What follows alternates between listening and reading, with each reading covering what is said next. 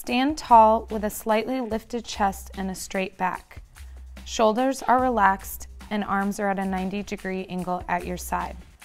They will swing directly forward and backward. Be careful that they do not cross the body's center line. Follow the natural motion of your body with your legs.